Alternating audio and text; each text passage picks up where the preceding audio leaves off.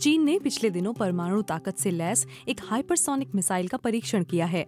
कई लोग इसे एक बड़ी उपलब्धि और हथियारों के क्षेत्र का गेम चेंजर मान रहे हैं, जिससे अमेरिकी अधिकारी भी परेशान हैं। चीनी सेना ने पिछले कुछ समय में दो बार ऐसे रॉकेट लॉन्च किए हैं, जिन्होंने पूरी धरती का चक्कर काटने के बाद अपने टारगेट को निशाना बनाया। फाइनेंशियल टाइम्स ने पहली बार इससे जुड़ी जानकारी दी। उन्होंने खुफिया विभाग के सूत्रों के हवाले से बताया कि पहली बार ये मिसाइल अपने टारगेट से 40 किलोमीटर दूर रह गई थी। कई अमेरिकी जानकारों और राजनेताओं को चिंता में डालने वाली इस रिपोर्ट को चीन ने गलत बताया है। उसने कहा कि ये पुराने अंतरिक्ष यान को फिर से इस्तेमाल करने से जुड़ा टेस्ट था। आईसीबीएम एक लंबी दूरी का मिसाइल है जो धरती के वातावरण को छोड़ देता है और फिर वापस आकर एक पैराबोला की तरह अपने टारगेट को निशाना बनाता है। FOB यानी fractional orbital bombardment system missile को धरती के चारों तरफ़ एक कक्षा बनाकर किसी भी दिशा से टारगेट पर निशाना बनाया जाता है। फिलाडेल्फिया के फॉरेन पॉलिसी इंस्टीट्यूट के डायरेक्टर रिसर्च एरॉनस्टेन कहते हैं, खबर और चीन का इनकार करना दोनों ही सही हो सकते हैं।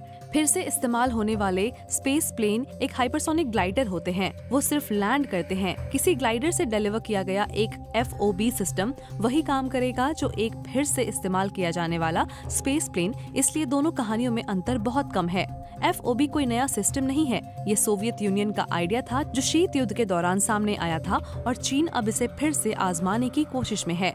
आइडिया था एक ऐसे हथियार का जो धरती की कक्षा में आंशिक तौर पर घूमकर किसी भी दिशा में हमला कर सके। ऐसा लगता है कि चीन ने एफओबी तकनीक को हाइपरसोनिक ग्लाइडर के साथ जोड़ दिया है। ये वातावरण के बाहरी किनारे पर तैरते हैं ताकि रडार और मिसाइल डिफेंस सिस्टम से बच सकें। चीन ने इन्हें मिलाकर एक नया सिस्टम बना दिया है। लेकिन क्यों?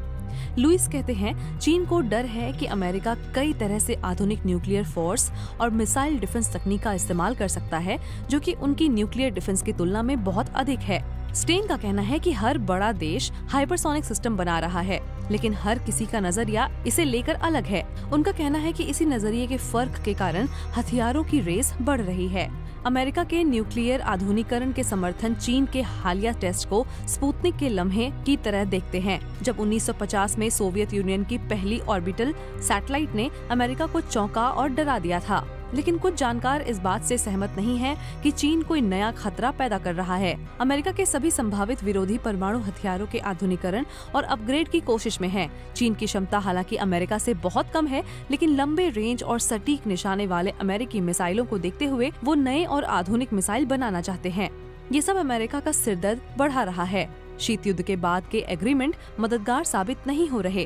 न ही रूस और चीन के साथ बढ़ती टेंशन सुरक्षा मामलों के विशेषज्ञ अंकित पांडा का मानना है कि अमेरिका के लिए सबसे ज़्यादा ज़रूरी है कि वो हथियारों की सीमाओं पर चर्चा करें।